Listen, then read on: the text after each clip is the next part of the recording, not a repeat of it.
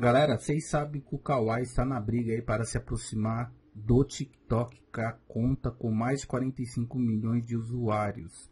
O rival já passou a função de similar de doação. No Kawaii, os usuários poderão fazer doação diretamente no perfil do criador.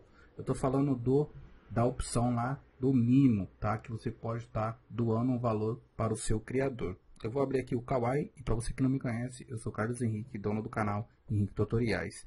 Esse é meu perfil, uma conta de 32k. Caso você queira me seguir, o link vai estar tá aqui na descrição desse vídeo, certo?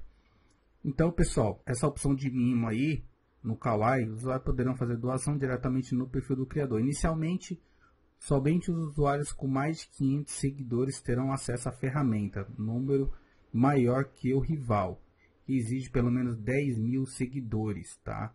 Eu já fiz um vídeo aqui de como ativar o mimo, vocês procurar e vou deixar qualquer coisa, eu vou deixar aqui nos cards, tá? E para fazer a doação, pessoal, tem vários valores ali, né?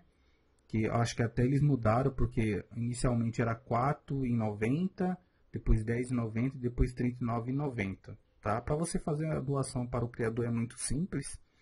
Eu vou fazer o seguinte, eu vou pegar um vídeo aleatório aqui só para mostrar para vocês como é que faz. Vou pegar o vídeo aqui desse casal, certo? Vou clicar no botão ali compartilhar e tem um botão ali tipo um presente, né? O ícone de presente e tá escrito mimo, certo? Só vai clicar nessa opção.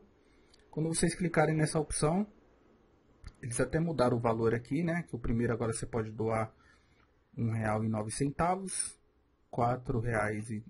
centavos, trinta e nove e noventa, tá?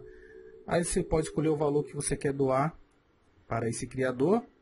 Só clicar no botão ali enviar seu mimo. Vai carregar ali a página da Google Play. Vai mostrar ali, é preciso adicionar uma forma de pagamento na conta do Google para concluir a compra. Suas informações de pagamento só ficam visíveis no Google. Né? Mostra o valor e você pode escolher uma das redes iniciadas aqui. Adicionar no cartão de crédito, adicionar no PayPal, adicionar no PicPay ou adicionar no Mercado Pago ou resgatar um código se você tem na Google Play Store, certo? E será enviado aí esse valor para o criador.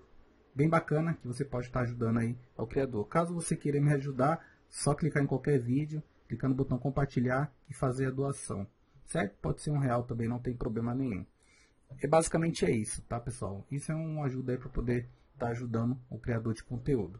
Certo? Espero que vocês tenham gostado do vídeo. Qualquer dúvida, deixe aqui nos comentários. Eu vou ficando por aqui. Um forte abraço. Obrigado. Fui.